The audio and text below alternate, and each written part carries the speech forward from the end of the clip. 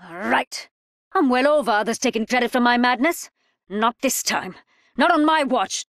Oh, hey, did Wit steal his watch back? How does one murder a corporation? One skin suit at a time. Be careful. The demonio is targeting those I care for. You can't imagine what it's like, knowing you're the reason everyone around you will die. I have walked on my parents' graves and never known. Arthur to sea, Boone under sand. I know your pain, this life of death.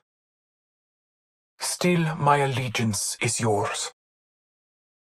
Your planet's dying, people displaced, and Hammond installs a giant ice cream maker. Leave it to Hammonds to ruin ice cream. Did you just laugh? And joke? I'm. I'm about to get misty eyed over here, mate. I'd ask what the point of this oversized gas trap is. But why bother? Any response out of your mouth would be a lie meant to manipulate us, Caustic. It doesn't matter. He now understands being cruel has consequences. Right, Doctor? You're both accurate.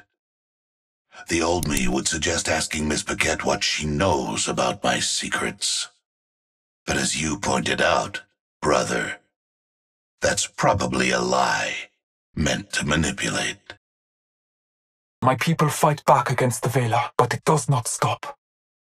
This is the fruit of my failings. My people should not be made to suffer.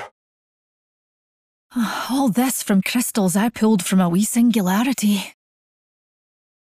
My old friends at Hammond are at it again, mucking around where they're not wanted. You think I'm done with you? Ho, ho, ho, ho. I'm saving the best for last.